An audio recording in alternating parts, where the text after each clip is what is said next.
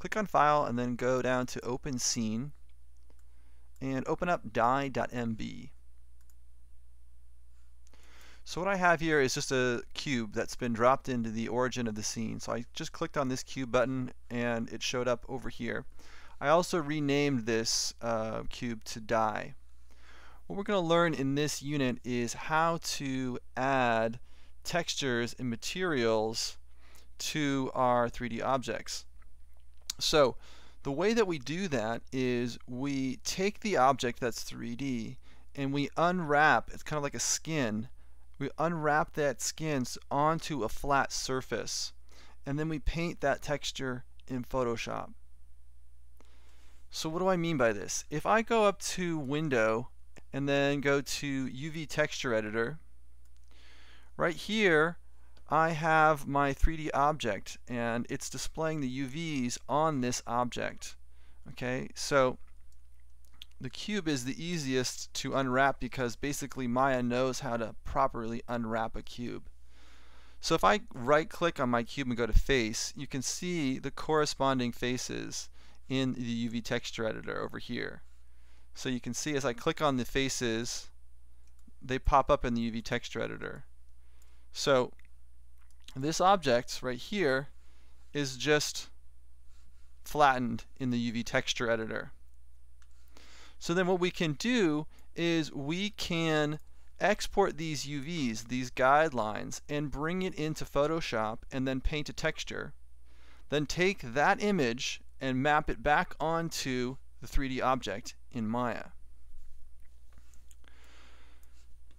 So when you go to face, you can select a face and in the viewport you can move it. But over here in the texture editor you cannot move a face. You also can go to edge and you can select an edge. You can move it in the the panel here, but you can't move it in the UV texture editor. The only thing that you can edit in the UV texture editor are the actual UVs. So for example, if I take a UV here and select it, I can move that UV in the UV texture editor. So that's what we're working with. Okay, so I'm going to right click, go to object mode, and leave this alone. Now what we're going to do is we're going to export our UVs since we have a cube and we don't need to make any changes to um, the UVs. I'm just going to export this and we're going to start working in Photoshop. I'm going to go to polygons and then UV snapshot. Now you have to make sure that when you do this UV snapshot that your object it's not in face mode or vertex mode. It needs to be in object mode and the object needs to be selected. So if it's selected then we can go to polygons and then go to UV snapshot. Now I'm going to See if I can expand this window a little bit. Nope. So right here under UV snapshot, it's telling us where's it going to save this. It's going to go to exercise files, unit 9 project folder, and then I'm just going to use the arrows on my keyboard, going to the images folder and then out UV. So I'm going to rename this not to out UV but die underscore out UV and let's see, we'll make this 1024 by 1024. We're going to keep the aspect ratio and um, over here under image format make sure you're set to Photoshop. Okay, if you have all the same settings that I have then hit OK and that will export our UVs. So now I'm going to open up Photoshop and I'll go ahead and just minimize Maya. So I'll go to Maya and then go to hide Maya. And here I have Photoshop open. So I'll go up to File and then I'll go to Open. And then I'm going to click on Exercise Files. Then I'll double click on Unit 9 Project Folder. And then I'm going to double click on Images. So here we're going to want to take our die out UVs.ps file. So I'll hit open. and here are our exported UVs from Maya. So the first thing I'm going to do is I'll go over to the layer editor here. I'm going to double click on this background layer that's locked. I want to unlock it. So we're just going to call this layer UVs. Okay. I'm going to create a new layer down here.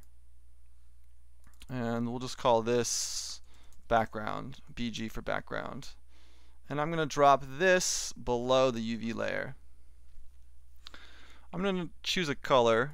So I'll just click on my color choose right here. I'm going to choose just red. Hit OK.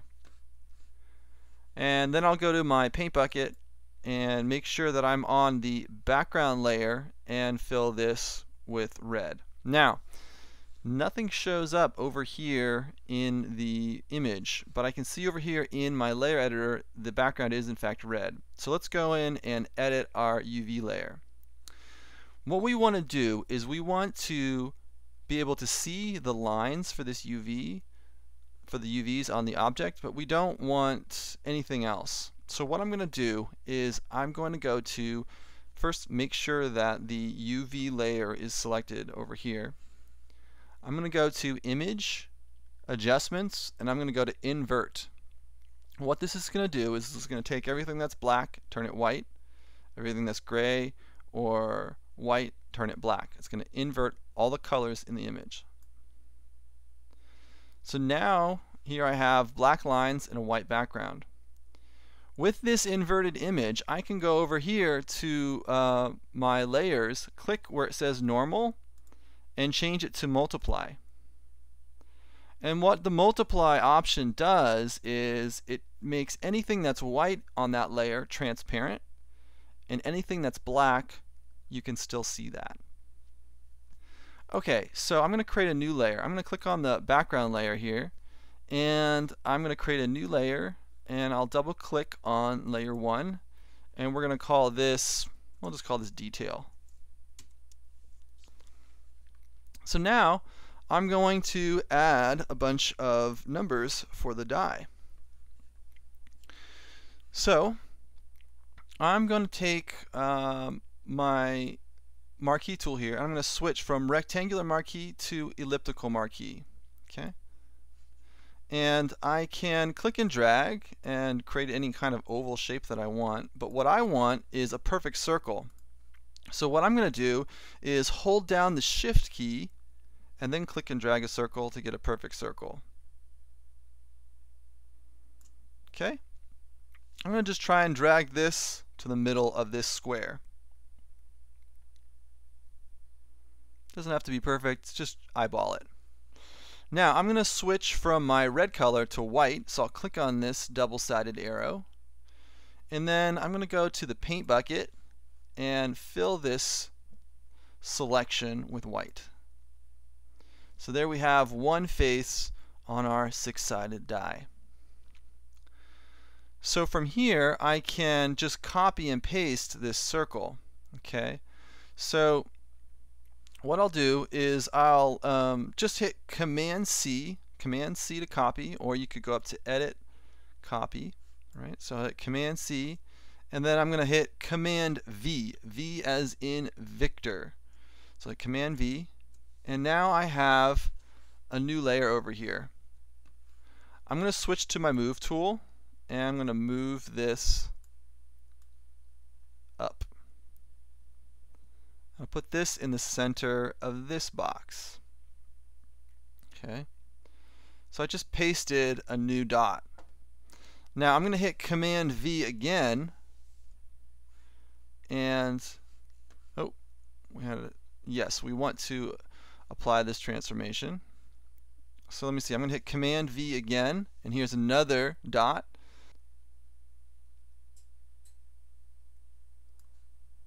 and uh, I'll press return. And I'll hit command V again.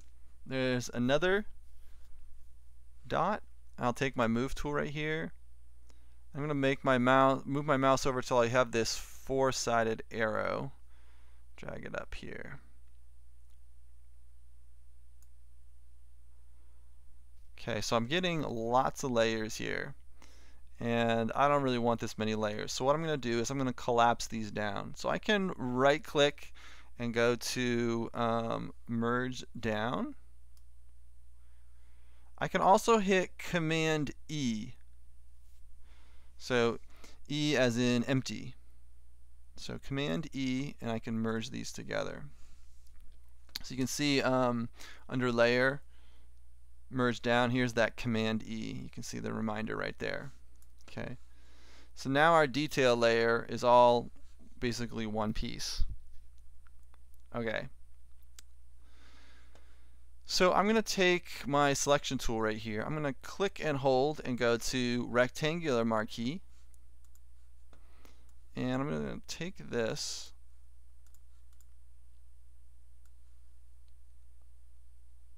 and I'm going to hit Command C to copy and then Command V to paste.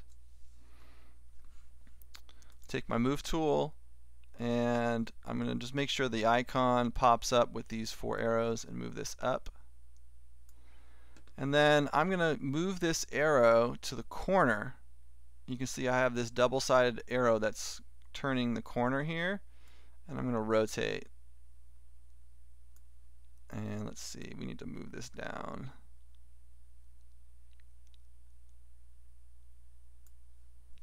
So then I'll press return here and we've got to do some more editing. So I'm going to go to my rec my marquee tool right here, select this, switch to the move tool,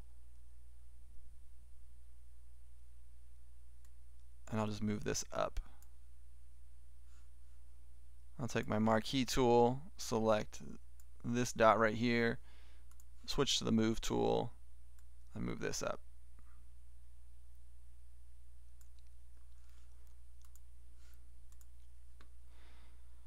So now I'm going to select all three of these circles right here. I'll hit Command C and then Command V to paste. Take my move tool and move this over. And I can't get it quite where I want it. It's like snapping right there. So what I'll do is I'll just use the arrow keys on the keyboard and that will just move it over slightly. Okay. So let's see what we have here. So layer 2 and layer 1, let's merge those together. So I'll hit Command E.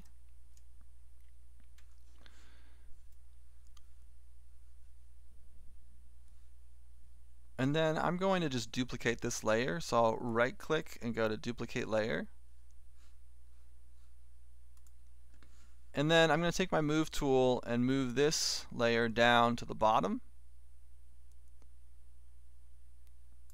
And once again, I'm going to use the arrow keys to adjust to make some some more precise adjustments. So use the arrow keys on the keyboard. And I'm going to take my marquee tool here and this is going to be the number 4. So I'm going to select these dots in the in the middle here and hit delete. Alright. So now I'm going to, let's see here. I'm going to go to the detail layer and I'm going to select the three dots here, hit Command C and then hit Command V to paste. I'll take my move tool and move these down to this corner here. And then I'm going to use my arrows on the keyboard just to make a small adjustment there. I'll switch to the marquee tool and I'm going to select this dot in the center and then hit delete. Alright. So I'm going to select the number 4 right here, these four dots. And let's see, what layer is that on? I don't remember, so I'm just going to go ahead and merge all these down. So I'll hit Command E and merge these all together. So I've got these four dots selected. I'll hit Command C and then Command V. I'll take the move tool right here and I'll move this over. You can use the arrows on the keyboard to make some more precise adjustments. And we just need one more dot. So I'll select the dot in the center right here, hit Command C. Selected area is empty, okay? So yeah, these two layers are separate, so let's hit, uh, let's combine these two layers. I'll hit Command E. Right here, I'm going to hit Command C and then hit Command V. Take the Move tool here, and move this into the center for the number 5. Alright, I'm just going to merge these two layers together. So we've got our numbers all on one layer, got our background on one layer, and then up here we've got our UVs that basically gave us the guidelines so that we knew where to place these numbers in our image. So let's go ahead and save this. So I'll go to File and then Save. Okay, uh, we can leave this set to maximum compatibility. So this file has been saved. And now what I'm going to do is I'm going to turn off the visibility on the UV layer. These black lines here, we don't want those. And now I'll go to File and then go to Save As. And right here, I'm going to go from Images I'm going to go to the Unit 9 project folder. So if you don't see this there, you can just go to Exercise Files, Unit 9, and then in the Unit 9 project folder right here, I'm going to go to Source Images, and we're going to call this die color map. Then over here under format, I'm going to just choose JPEG. Okay. So now I'm going to hit save. And the file size, we'll just set it to uh, quality uh, 8 or high. Alright, so I'm going to now minimize Photoshop. So let me go hide Photoshop right here. And I'll bring Maya back. So here we have our UV texture editor. And I'm going to move this to the side. I'll go to Window, rendering editors, and then Hypershade. And I'll just adjust this. So I'm going to leave Lambert 1 alone and create a new Lambert. Just move this down. Over here, let's bring up our attribute editor. So that's this button right here. So this, we're going to call this die matte. I'll press return. Over here under the color channel, I'm going to click on this button right here to map it. I'm going to choose File right here. And over here under File Attributes, I'm going to click on this little folder icon. And now it's taking me to my source images folder in the Unit 9 project folder. So now just choose die color map and hit open. So now I'm going to hold down the middle mouse button and drag this material onto our cube in the scene. Now, nothing showed up. That means I need to press 6 on the keyboard to display textures. If I select the cube here in the panel, you can see Here's our UVs showing up, and also here is the image that we created in Photoshop.